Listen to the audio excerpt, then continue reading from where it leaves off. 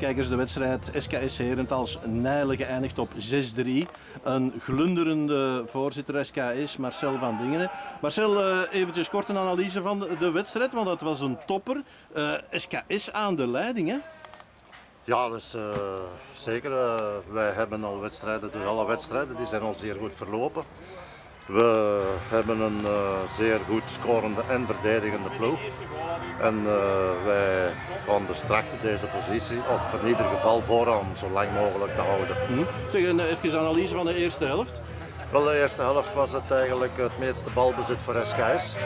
En uh, we stonden veel te ver weg. Ik wist niet of er een penalty kon gefloten worden voor een uh, doorgebroken speler van SKS. Maar er een tegenaanval die dat kwam. Uh, door het Tom Jansen eigenlijk de 0-1 achterstand. Maar uh, in plaats van die 0-1 uh, werd het even erop 1-0. En dan uh, het einde van de eerste helft werd het nog 2-0. Dus de, de, start was heel goed. En dan ja, die, die tweede helft, het was echt een doeltjeskermis hè? Ja, doeltjeskermis. wij blijven dus wel de ploeg die het beste was. Maar de, hun trainer had een kleine herschikking gedaan op het terrein. En de, de agressiviteit van Nijlen werd wat groter. En we kwamen toch wat onder druk te staan. Dus door een dom balverlies uh, komen zij op uh, 2-1. En dat uh, bracht natuurlijk de eerste minuut een klein beetje verwarring mee. Maar ik denk twee minuten later dat we op 3-1 komen. En toen zou eigenlijk de wedstrijd moeten gespeeld zijn. Maar uh, opnieuw vooraan een, een balverlies. Ja, het was 30 seconden later. De aanval uh, komt, wordt het 3-2. Dus uh, de spanning en ten top en echt trillen. De rest zouden eigenlijk moeten gezien hebben. Ja, want het is echt reclame voor al de komende wedstrijden voor SKS, Marcel? Ja, dus uh, de, de, 254 betalende toeschouwers die hebben hier vandaag uh, echt gezien. Allemaal, ja, heel hoe, publiek. Uh, Ik heb ze heel, heel pak gezien. En hoe dat deze twee ploegen dus voor de, voor de prijs gegaan hebben. En, als dat nog enkele zondagen kan volgehouden worden, ja, dan hebben we ons eerste doel bereikt. Marcel, in augustus hebben we nog een interview met jou gedaan. We doen dat trouwens regelmatig. En dan zei je, nou ja, als we aan die top 5, top 6. Maar ja, nou zo nu leider al. Wat, wat, zijn de ambities nu verlegd? Nu, de ambities zijn niet verlegd, dus uh, wij gaan trachten van uh, die, die positie zo lang mogelijk te houden.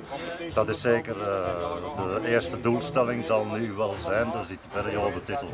En dan kunnen we dus nog altijd bekijken wat er moet gebeuren. We hebben een ruime kern, mm -hmm. dus Poepeke was er niet bij vandaag. Er waren nog twee spelers die door kwetsuur uitgeschakeld waren. Juist voor de match moet Steven Stappers nog afhaken. Hebben we thuis nog iemand moeten opbellen. Dus uh, de spelers die dus bijgekomen zijn, die doen het even goed als de anderen. Dus zolang als we het in groep kunnen blijven doen, zullen wij dus uh, wel bij die top 5 meedragen. We zullen meteen al denken aan de volgende wedstrijd. Welke? Dat is uh, naar uh, AC Olle, dacht ik. Dat is een uh, burenderby, dat is goede vrienden van ons.